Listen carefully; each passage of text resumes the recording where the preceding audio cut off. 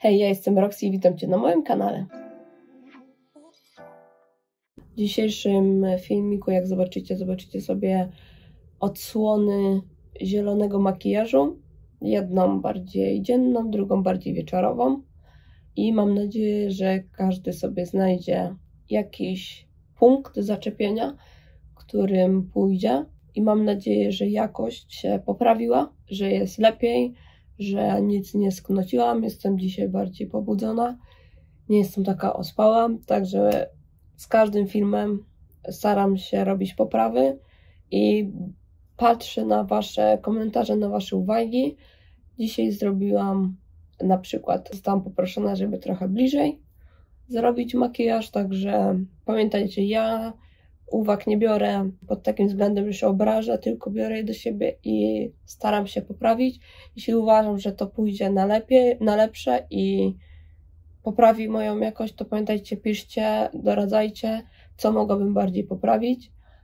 I tyle, no będę się starać. I pamiętajcie, żeby też zostawić w komentarzu po, jakieś pomysły na makijaże, ponieważ ja mogę robić makijaże e, takie, jakbym, takie, jakbym uważała, żeby zrobić, ale pamiętajcie, że ten kanał jest stworzony nie tylko dla mnie, tylko dla nas wszystkich. Także jeśli chcecie coś zobaczyć, chcecie się czegoś nauczyć, piszcie. Ja na pewno wezmę to pod uwagę. Także nie bójcie się pisać komentarzy i nie bójcie się subskrybować. Dużo jest Was, którzy nie subskrybujecie tego kanału, także zachęcam. To nie kosztuje, a pomaga mi rosnąć w górę. Także subskrybujcie i łapkujcie, bo łapkowanie pokazuje mi, że film się podobał i że mam iść w tym kierunku, że się, że idę jakby w do, dobrą stronę. Także to są takie trzy rzeczy, które nie są jakby bez powodu, tylko pomagają twórcy.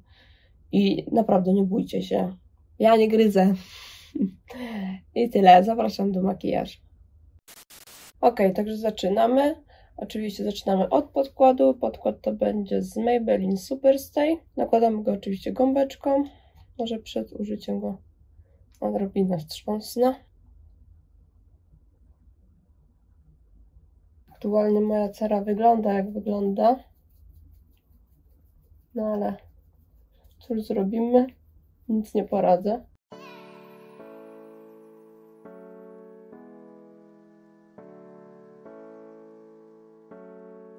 I w sumie będziecie mieć dobry obraz dzisiaj na to, czy ten podkład dobrze kryje, bo jak widać moja cera no aktualnie przechodzi swój kryzys, ale każdy rozumie dlaczego. Każda kobieta raz w miesiącu musi mieć swoje gorsze dni cery. O, i to jest taka normalna warstwa, jak ja zawsze kładę. Także no nie kryje za mocno, ale też nie jest taki, wiecie, przezroczysty ten mm, podkład. I przykryjemy wszystko e, korektorem z L'Oreala. I dzisiaj nakładam pod oczy. Dzisiaj pod oczami też się dużo dzieje. Ja też ogólnie niedawno wstałam. Dzisiaj mam taki dzień, że bym cały dzień przespała. Też się późno położyłam spać wczoraj, bo pisałam z siostrą i robiłam próbny makijaż do dzisiejszego i będę mieć dla Was dwie propozycje. Jedną trochę lżejszą, drugą bardziej imprezową. No ale to już widzieliście na początku. Mam nadzieję, że mi tak samo ładnie wyjdzie jak wczoraj.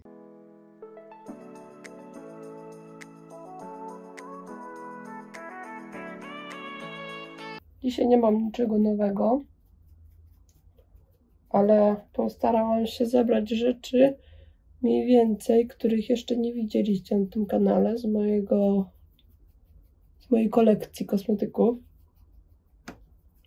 No tam wiadomo, podkład i korektor to ja mam zawsze w małych ilościach, no bo y, żal marnować. Tak mniej więcej y, otwieram następne produkty, jak już widzę, że się kończą. No dobra, tak wygląda cera przykryta.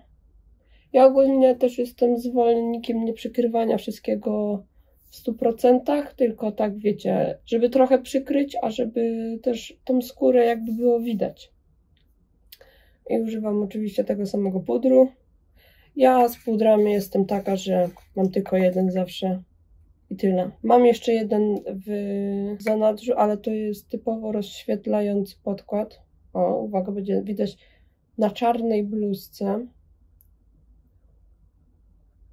Jak ja się lubię ubrudzić. Y, rozświetlający puder, ale on tak mocno rozświetla, że nie da się go używać normalnie jako pudru, tylko jako taki bardziej toper na, no, na y, twarz, więc nie używamy na przykład na czole, nie używamy tutaj pod oczami, bo się świeci masakrycznie.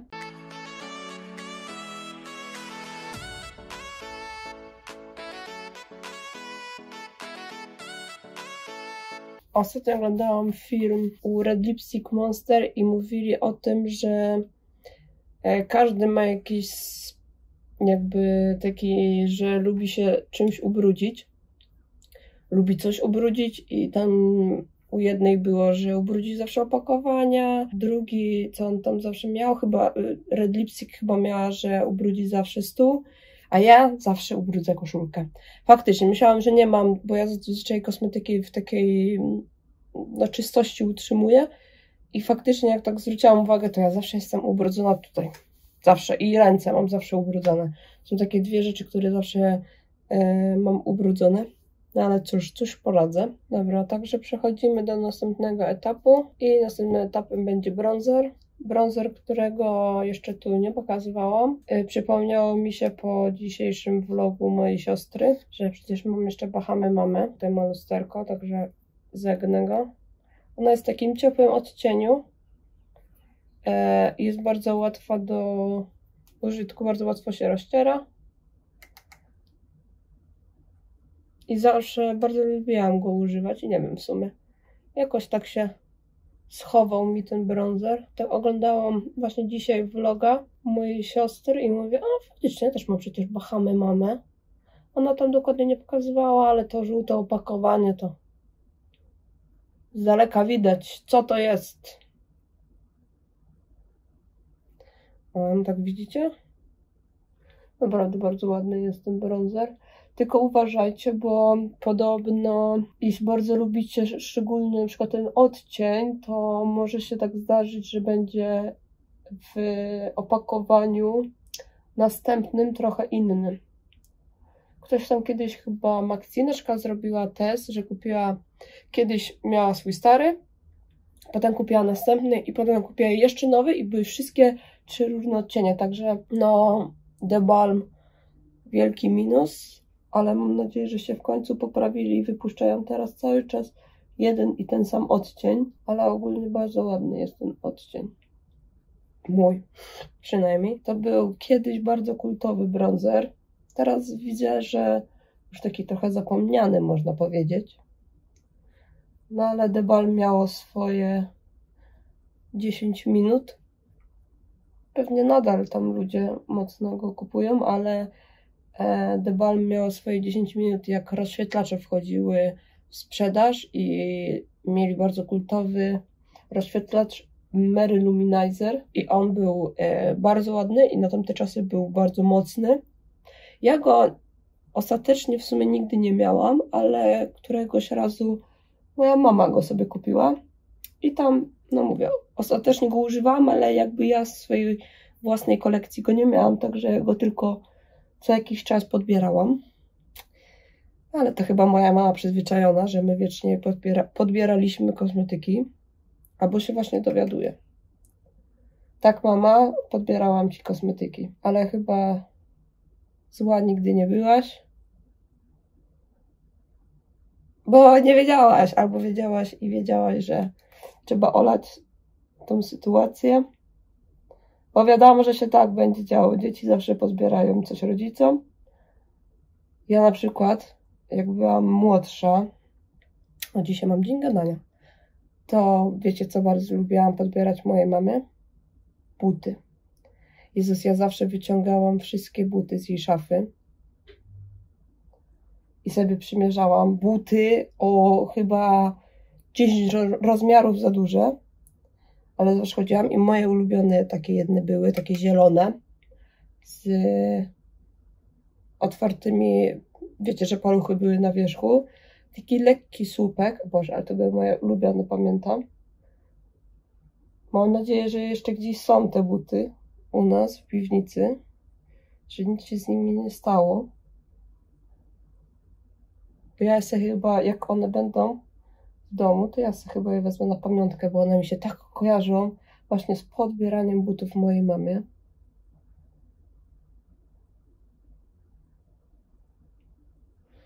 Także no ja to zawsze i do dzisiejszego dnia mam frika na punkcie butów. Boże święty, jak ja kocham buty. No i w sumie e, przez to, że zawsze podbierałam mojej mamie buty i to zawsze te wysokie, bo moja mama, moja mama i płaskie buty to jest rzadkość, po prostu to musi gdzieś jechać chyba w górę albo na jakąś wycieczkę. No teraz pewnie częściej chodzi. No zauważyłam, że do sklepów i w ogóle, ale kiedyś moja mama i płaskie buty to to się nigdy nie, nie działo. I roko rozświetlacza użyję z Vibo. Mam nadzieję, że jeszcze jest dostępna. E, pierwsza paletka e, zmalowanej i z tej paletki użyjemy sobie tego rozświetlacza. No, także możecie pisać, co wy zawsze sobie lubiliście podbierać rodzicom z szafy. Ja mówię, ja na początku buty, a potem podbierałam kosmetyki. O, nie nałożyłam y, różu. No dobra, zaraz się nałożę.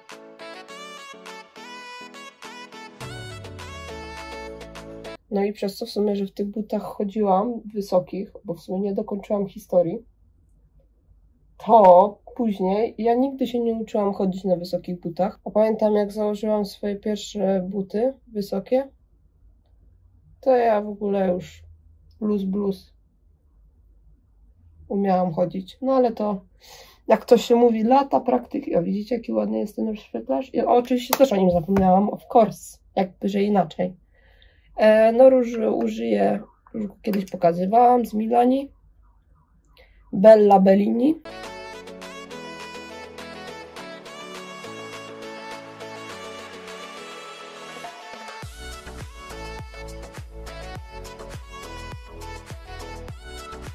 Przejdziemy trochę bliżej, bo zostało mi powiedziane, że mam nagrywać rzeczy takie typowo e, na oczach, związane z oczami bliżej, bo są też i ślepi ludzie u nas na kanale. Także oczywiście żartuję. I przechodzimy do paletki tej co zawsze z Ingota i zrobimy sobie brwi. Oj, oj, oj, oj, oj. I przejdziemy sobie do pędzelka do brwi takiego skośnego. Ten jest z Real Techniques, w ogóle bardzo go polecam, bardzo fajny pędzelek. I proszę mi e, dzisiaj nie gadać, bo robiłam wczoraj próbny makijaż, także wszystkie pędzelki będą unurosane. I jak przejdziemy do oczu, to się dowiecie, co to znaczy unurosane pędzelki. Będę je dzisiaj, mam nadzieję, myła. Ogólnie technika z brwiami na razie jest taka sama cały czas. A, czyli robimy tylko od dołu i zostawiamy.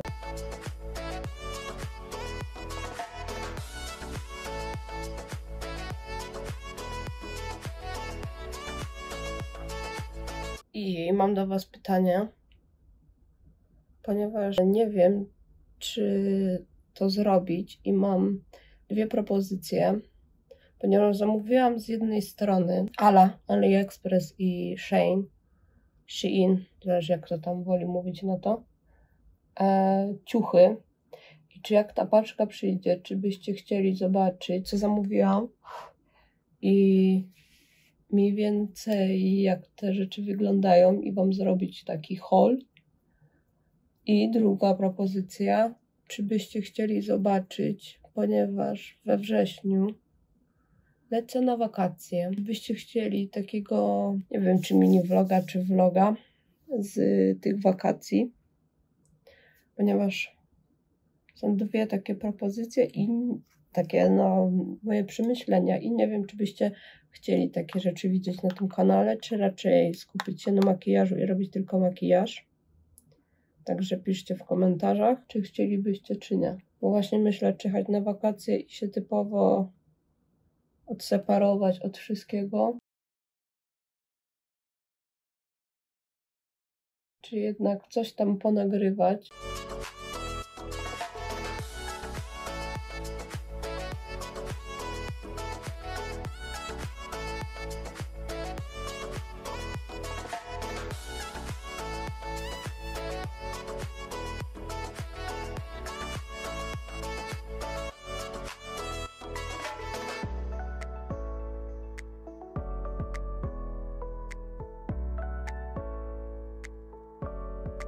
I pod brwi nałożymy sobie korektor, który mam z Jeffree Stara i e, ja korektory, które zazwyczaj mi się albo nie sprawdzałem, albo już mam końcówkę, używam zawsze na powieki i tego korektora tak samo użyjemy sobie na powieki.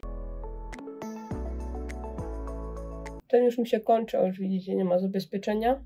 O, i właśnie fajny trik dla osób, którzy nie lubią marnować kosmetyków, to wyciągajcie sobie na przykład, macie korektory, to ten, co wam y, jakby, może nie wiem jak to nazwać, no wiecie, ten taki, taka gumowa nakładka, która jak wyciągacie, to wam ściąga jakby nadmiar e, produktu, to wyciągajcie. Ja sobie na przykład wyciągam pensetą tą rzecz i potem mam jeszcze, bo tutaj w środku zazwyczaj jeszcze jest dużo korektora, a przez to, że się jakby odciska, to no jakby nie możemy go wyciągnąć w pełni, także to jest fajny trik, żeby sobie właśnie wyciągnąć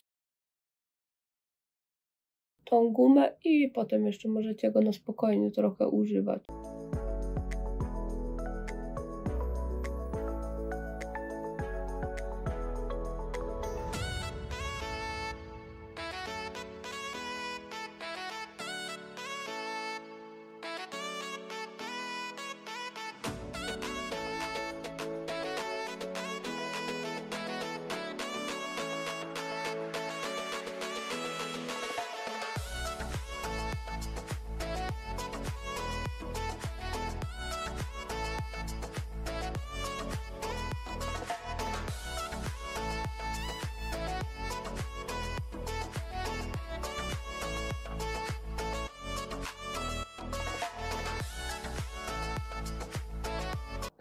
Przechodzimy do makijażu.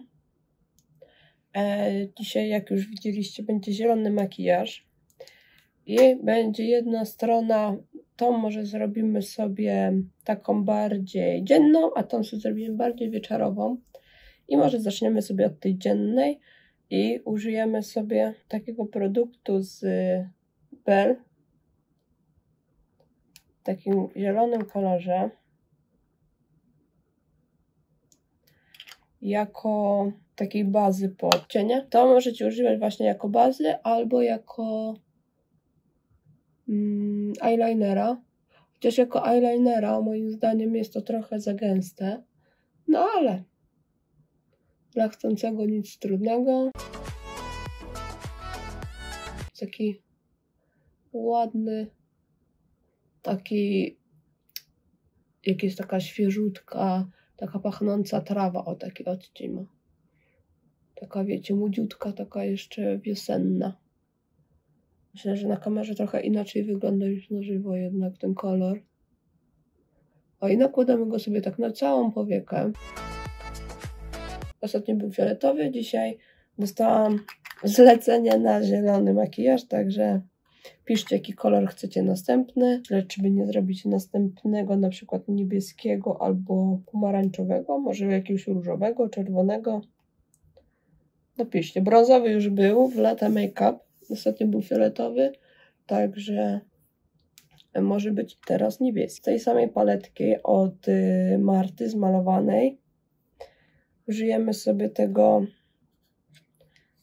tego zielonego odcienia i tak samo nakładamy na palucha i nakładamy na ten odcień. Nie jest taki bardziej brudny ten zielony odcień, ale niestety trzeba go przykryć. Jeśli macie paletę z, z Bell od Gen Z, to tam będziecie mieć taki sam odcień zielonego. I może pomożemy sobie trochę pędzelkiem tutaj na górze i rozmyjemy go sobie.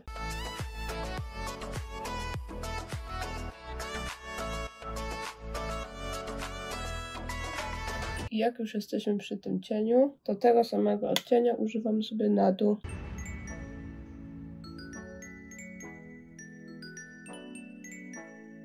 Mam nadzieję, że wszystko widzicie, bo mi na podglądzie się wszystko zawiesiło. Mam nadzieję, że jest wszystko ładnie widoczne. Trawiasty ten kolor. I właśnie ja widzę, pamiętam, że popełniłam jeden wielki błąd, ponieważ powinnam zrobić najpierw oczy, potem twarz. No dobra, poradzimy sobie jakoś. I jak już macie taki zielony odcień, to ja mam specjalną paletę z Glam Shopu. W zielone się nazywa. I ona ma dosłownie wszystkie kolory zielone. I ja użyję sobie tego odcienia i nałożymy sobie tylko na środek. Nigdzie poza, tylko na środek. Żeby był taki akcencik. I nałożymy go sobie jeszcze tu w kąciku. O, i są dwa takie punkty, które odbijają.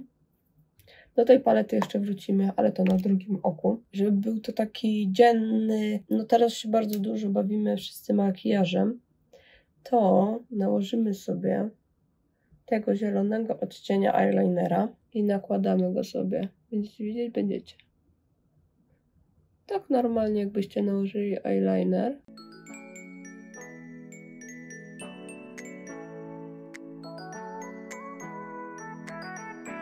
Lecimy z nim prawie do końca.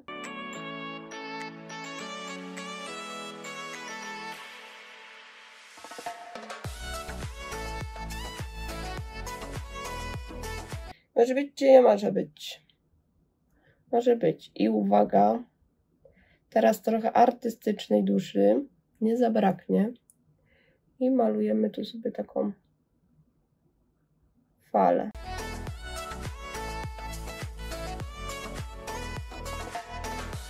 Teraz sobie go troszkę poprawiamy, żeby w każdym momencie była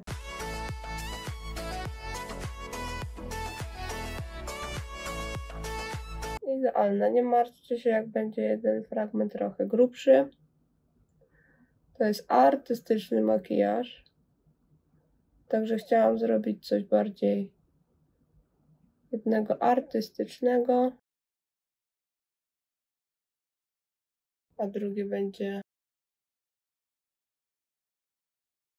bardziej takie spokojne. Znaczy to też nie będzie spokojne, ale no na pewno nie będzie takie szalone. I teraz pomiędzy sobie zrobimy takie kropeczki. Tutaj, tutaj, może być tutaj, tutaj.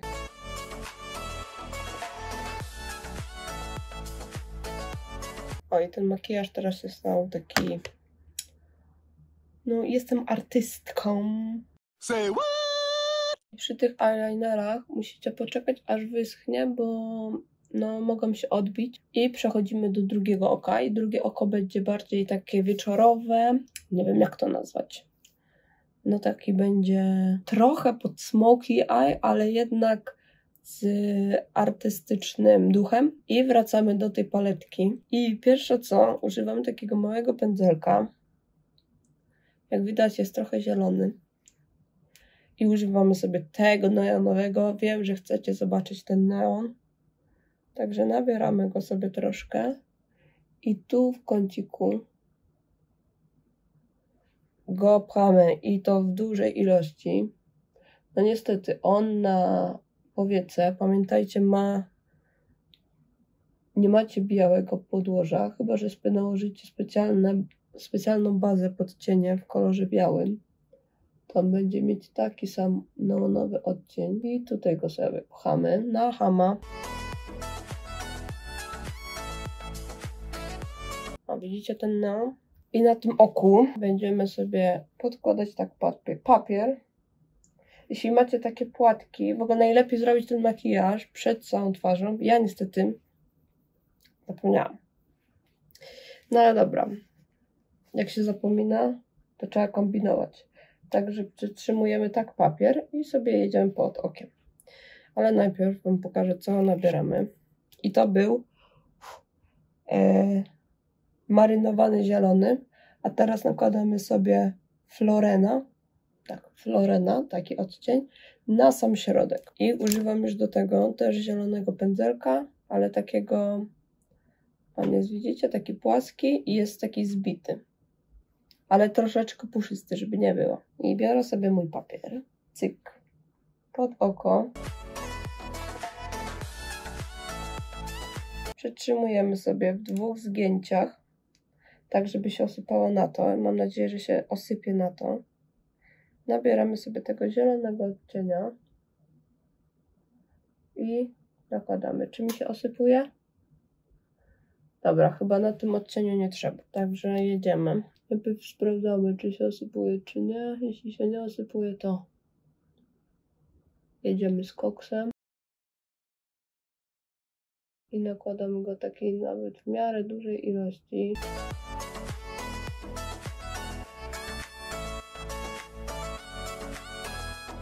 Na sam środek. I już sobie tutaj budujemy taką linię. Ona nie musi być dokładna, ale już budujemy sobie taką linię. I tu w tym kolorze troszkę musimy sobie popracować, by się lekko zmieszały te dwa odcienie.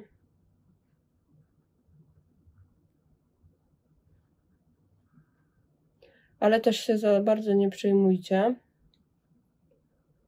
bo później Wam pokażę trik jak zamaskować. Chyba, że chcecie typowo matowe, no to, to już nic nie poradzę. To czy musicie się namęczyć wtedy. A tak to Wam pokażę, jak się nie męczyć za dużo z matowymi cieniami, by zrobić sobie e, fajne przejście.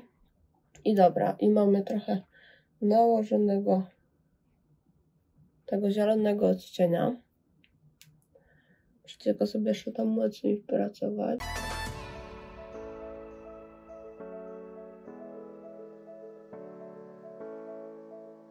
Pamiętajcie, że to one mniej więcej grają główną rolę, o tak powiem. Teraz nałożymy sobie oj, tego bluszczu, tylko pod ten cień. Na milion procent proszę sobie podłożyć coś pod oko. Po pierwsze jest to ciemny cień, po drugie z wczorajszego dnia wiem, że lubi się osypać.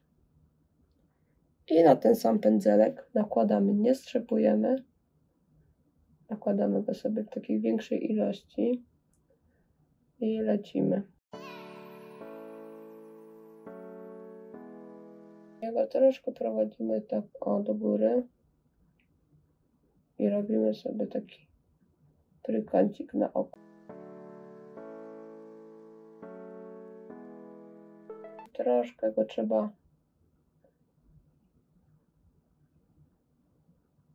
pracować. O, widzicie, jaka jest osypana? No jest osypana ostro. I podjeżdżamy troszkę wyżej. Większe zagłębienie sobie robimy. Wyżej podjeżdżamy pod brew, nie boimy się. Taki, tylko widzę, że się plama zrobiła.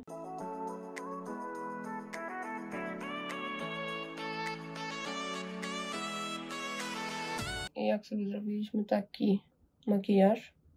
Nie przejmujcie się tymi granicami, bo zaraz sobie je powyrównujemy. I teraz sobie tą drugą stroną nakładamy tą florentynę, czyli ten, co jest pomiędzy odcień. Trochę go strzepujemy i nakładamy tutaj na dół.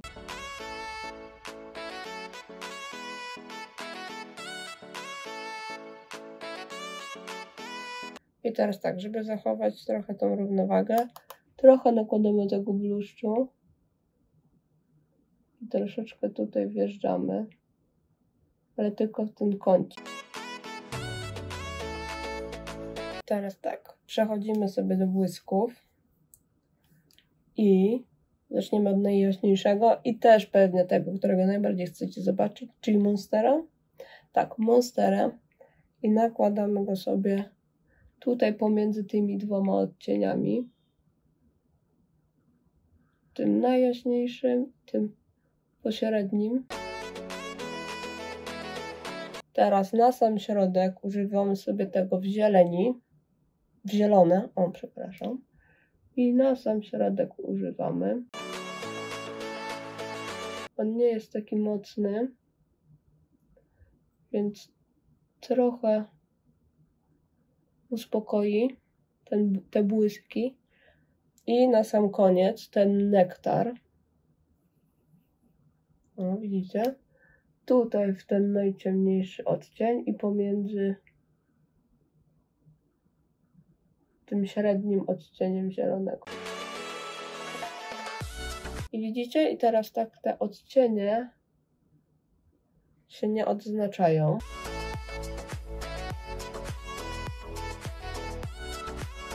No, tylko ładnie w siebie przechodzą. Dobra, i zamykamy tą paletkę. Czyścimy paluchy, pamiętajcie. A zielony to wy raczej nie chcecie być. I teraz mam osyp. I delikatnie muskam po skórze. Strzepując. I pamiętajcie, ja zawsze robię tak, że przejadę i o rękę tak przejadę, żeby strzepać te kolory, które mam na pędzlu. I teraz przechodzimy sobie do eyelinera i rysujemy sobie najpierw normalną kreseczkę.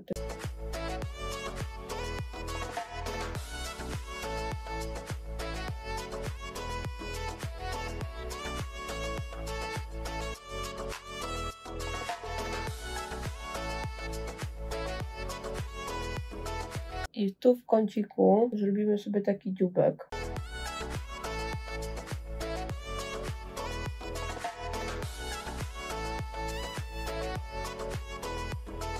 O. Tutaj na końcu teraz mamy taką kreskę. I teraz sobie zrobimy tak jak leci tutaj ten cień, sobie tak zrobimy kreseczkę na górze.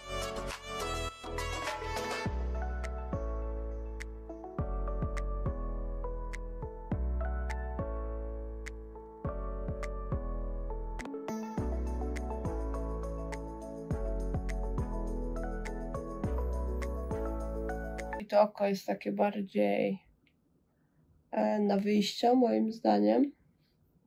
Można jeszcze coś tutaj dodać i no lepiej mi wczoraj wyszło, bo wczoraj wyszło mi bardziej tak, że miałam tak kreskę, a widzicie, a teraz musiałam tak bardziej położyć. No i to jest właśnie ten minus, że, że nie miałam tej swobody wyczyszczenia sobie pod. I żeby trochę rozjaśnić, nałożymy sobie kredeczkę z NYXa Jumbo. Oglądamy paluszki, czy nie są brudne. Oglądamy, czy pod powiekami nic nie jest. I nakładamy sobie tutaj na linię wodną. Tuż ostatnio tego, co testowałam z KVD. I tak, na tym oku zrobimy sobie jedną, max dwie warstwy, na tym sobie popłyniemy trochę dalej i zobaczymy, czy będę chciała użyć sztucznych rzęs na tym oku. O, myślę, że nałożymy sobie jeszcze jedną warstwę, tylko to oko ma być takie, wiecie, mm, pani wiosna, o takie. A tutaj sobie naładujemy trochę więcej. Tutaj drugą warstwę. O, i tak sobie zostawimy. Jest taka, widzicie, delikatna ta strona.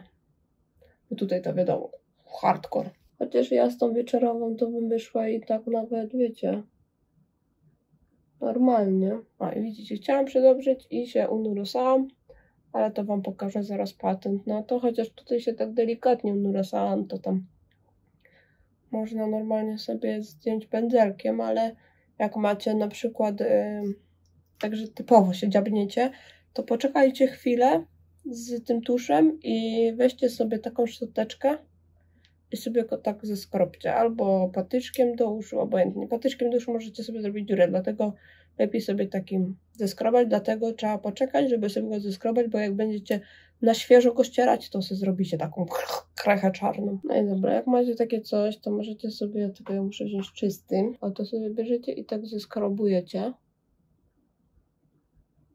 No ale ja sobie tutaj chyba zbyt delikatnie. Też idzie. Możecie go tak sobie zeskrobać, ale tutaj jest tak delikatnie. To możecie sobie wziąć. Co ja z tym zrobiłam? Pędzelkiem. Co go rzuciłam? A, w ręce go trzymam. Szukam czegoś, co mam w ręce. Taki pędzelek po korektorze. I możecie sobie to tak przejechać. O, i nie ma śladu. I nie wiem, co, czy zrobić ten, te sztuczne rzęsy. Nie, chyba nie. Potem je zdejmować. Hmm, nie chcę mi się. I na usta delikatnie sobie zrobimy, yy, bo do tego makijażu myślę, że wystarczy. Coś się dzieje, a do tego, widzicie, jest tak delikatnie, więc pojedziemy delikatnie. Oj, a tutaj widzicie, jest tak no mocno. Także delikatne usta konturówką, objechane i błyszczykiem.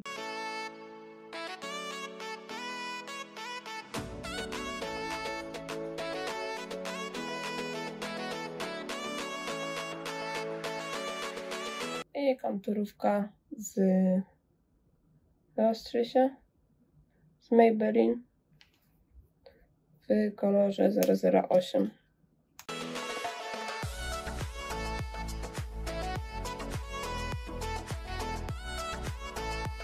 Bo makijaż skończony i przechodzimy do podsumowania. Ok, także tak wygląda makijaż z daleka. Tu przypominam, tak wygląda wieczorna strona, a tak wygląda dzienna strona. Możecie, wiadomo, poprawić coś na twarzy, e, możecie sobie zrobić coś innego, możecie ominąć tą kreskę, możecie sobie zrobić bardziej do góry, no to już wasza interpretacja, tak samo z tym nie musicie robić tego u góry, kropek, stropek, możecie zrobić sobie czarny eyeliner, to już do waszej interpretacji. Pamiętajcie, że możecie też to zrobić zawsze w jakimś innym kolorze. Makijaż to zabawa, także nie blokujcie się na e, daną rzecz. Bawcie się tym makijażem. Ja zawsze się bawiłam, jak chodziłam do szkoły, żeby nie chodzić w. Do liceum już chodziłam, żeby nie chodzić w takich mocnych makijażach, to ja zawsze sobie wieczorem siadałam i się malowałam. I to zawsze było po nocach.